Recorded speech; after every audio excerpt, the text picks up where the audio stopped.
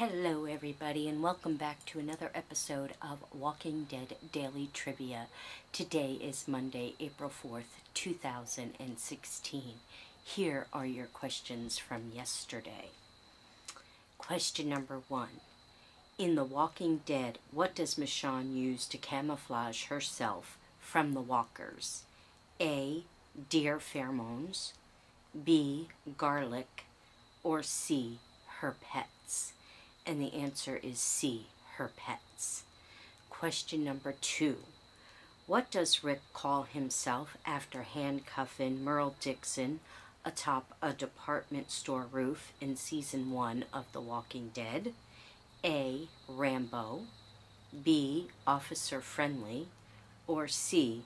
Officer Bad Boy? And the answer is B. Officer Friendly. We had a total of nine players with nine correct answers. Congratulations, guys. I think that's the second time that has happened. In fifth place, we have Terry Johnson. Fourth place, Melissa C. Third place, Angie on YouTube. Second place, Greg Myers. First place, Tammy Alexander. Congratulations, guys.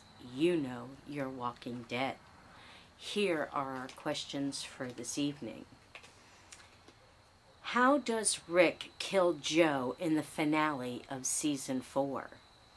A. Breaks his neck. B. Bites him in the jugular. Or C. Stabs him. Question number 2.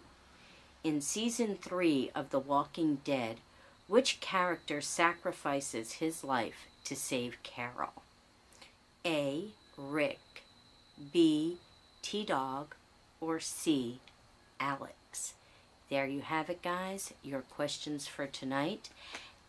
And barring I can avoid the walkers and the other groups that are out here, I will catch you tomorrow night with the answers.